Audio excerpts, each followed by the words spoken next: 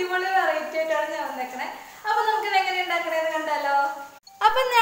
പുട്ടിന്റെ വെറൈറ്റിക്ക് പേരിട്ടേക്കണത് പഴംപുട്ടെന്നാട്ടോ. അപ്പൊ ഇത് ഉണ്ടാക്കാനായിട്ട് ഇതേ നമ്മുടെ പുട്ടിന്റെ പൊടി ഞാൻ കുഴച്ച് വെച്ചിട്ടുണ്ട്. അതുപോലെ തന്നെ കുറച്ച് തേങ്ങ ചിരണ്ടിയത് എടുത്തിട്ടുണ്ട്.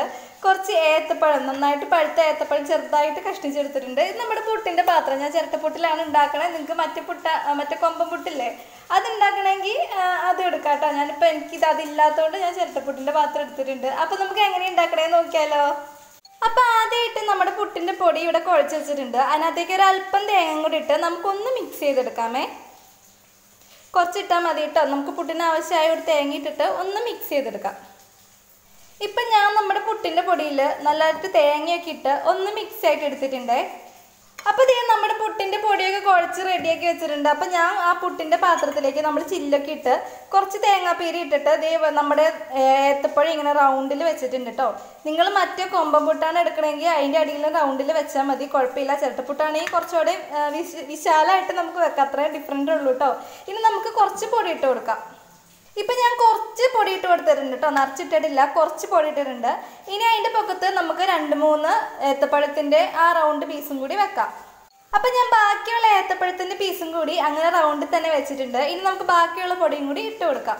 ഇപ്പം നമ്മൾ ബാക്കിയുള്ള പൊടിയും കൂടി ഇട്ട് കൊടുത്തിട്ടുണ്ട്. ഇനി അതിന്റെ പൊക്കത്തേക്ക് നമുക്ക് രണ്ട് മൂന്ന് ഏത്തപ്പഴത്തിന്റെ പീസും കൂടി വെച്ച് കൊടുക്കാം. ഇപ്പം ഇതേ നമ്മൾ ബാക്കിയുള്ള ഏത്തപ്പഴത്തിന്റെ പീസും കൂടി വെച്ച് കൊടുത്തിട്ടുണ്ട്. ഇനി ഇതിനകത്ത് ഇതിന്റെ പൊക്കത്തേക്ക് കുറച്ച് തേങ്ങാപ്പിരിയും കൂടി ഇട്ട് കൊടുക്കാം.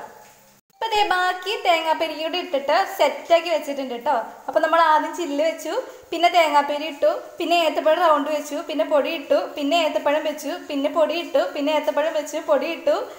പിന്നെ നമ്മൾ തേങ്ങാപ്പേരി ഇട്ടത് ഇതുപോലെ സെറ്റാക്കി വെച്ചു. ഇനി നമുക്കിത് അടച്ച് അടുപ്പത്ത് വെക്കാം.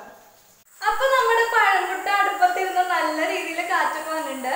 അപ്പോൾ നമ്മൾ പുട്ട് വേവാൻ എടുക്കുന്ന ഒരു സമയമില്ലേ അതിനകത്തേക്കാളും ഒരു രണ്ട് മിനിറ്റ് കൂടുതൽ നിങ്ങൾ അടുപ്പത്ത് വെക്കാട്ടോ കാരണം നമ്മൾ അതിന്റെ ഉള്ളിൽ ഏത്തപ്പഴമൊക്കെ വെച്ചിട്ടുണ്ടോ വെച്ചിട്ടുള്ളത് കൊണ്ട് ഒന്നോടെ ഒന്ന് സെറ്റ് ആയിട്ടൊന്ന് വെന്ത് വരാൻ വേണ്ടിയിട്ടാണ് ഒരു രണ്ട് മിനിറ്റ് എക്സ്ട്രാ നിങ്ങൾ ഒന്ന് വേവിച്ചെടുക്കാം അപ്പൊ ഇത് ശരിക്കും ഒന്ന് വെന്തിട്ട് നമുക്ക് വാങ്ങിയിട്ട് നോക്കാം എങ്ങനെ ഇരിക്കുന്നു അപ്പൊ നമ്മുടെ പഴംപുട്ട് ഏകദേശം റെഡിയായി നമുക്ക് ഇതൊന്ന് വാങ്ങി നോക്കാം.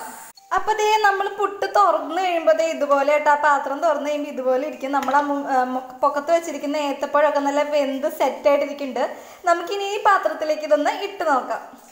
അപ്പൊ നമ്മുടെ പഴംപുട്ട് പാത്രത്തിലേക്ക് മാറ്റിയിട്ടുണ്ട്. നമുക്കിതൊന്ന് മുറിച്ച് നോക്കിയാലോ? ആ നോക്കിക്കേ. നമ്മൾ ഓരോ ലെയർ വെച്ചിരിക്കുന്ന ആ ഏത്തപ്പഴമൊക്കെ കറക്റ്റ് അതുപോലെ സൈഡിൽ സൈഡിൽ വന്നിട്ടുണ്ട്.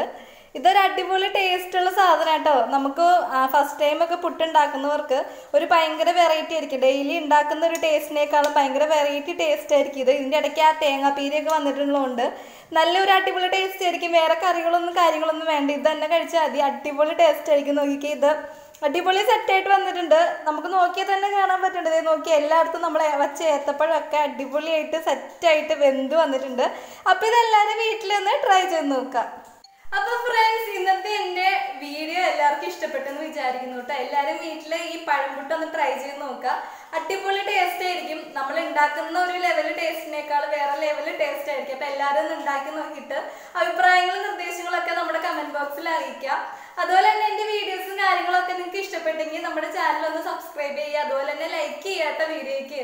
വീഡിയോയ്ക്ക് ലൈക്ക് ചെയ്യുക ഷെയർ ചെയ്യുക നമ്മുടെ ചാനൽ ഒന്ന് സബ്സ്ക്രൈബ് ചെയ്യുക. സബ്സ്ക്രൈബ് ചെയ്താൽ മാത്രം പോരാ സൈഡിലുള്ള ബെല്ലൈക്കണും കൂടി ക്ലിക്ക് ചെയ്യുക. അതിനകത്തുള്ള ഓൾ എന്ന ഓൾ എന്നുള്ള ഒരു ഓപ്ഷൻ സെലക്ട് ആക്കി കൊടുക്കുകയാണെങ്കിൽ ഇതുപോലെ ഇതിന്റെ വെറൈറ്റി വീഡിയോസും കാര്യങ്ങളൊക്കെ നിങ്ങൾക്ക് ആദ്യമേ തന്നെ കാണാവുന്നതാണ്. അപ്പൊ മറ്റൊരു വീഡിയോയിൽ കാണാനായിട്ട് വരെ ബൈ ബൈ